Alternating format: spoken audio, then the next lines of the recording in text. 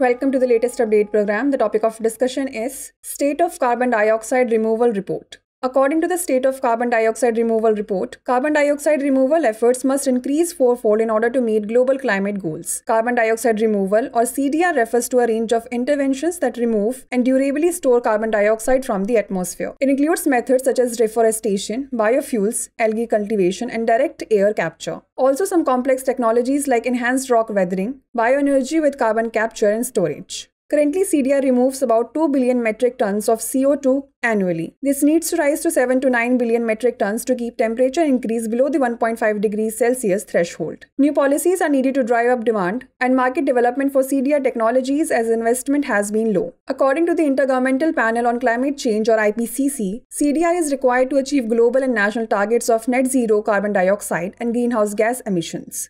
Let's now discuss net zero target. It is referred to as carbon neutrality, which does not mean that a country would bring down its emissions to zero. Rather, it is a state in which a country's emissions are compensated by the absorption and removal of greenhouse gases from the atmosphere. The removal of gases from the atmosphere requires futuristic technologies such as carbon capture and storage. India has promised to cut its emissions to net zero by 2070 at the Conference of Parties 26 summit. Now it's the time to test your knowledge. The question is Which of the following agricultural practices help in carbon sequestration or storage? Contour bunding, relay cropping, zero tillage, or all of the above? Send the answer to this question in the comment section. Thanks for watching.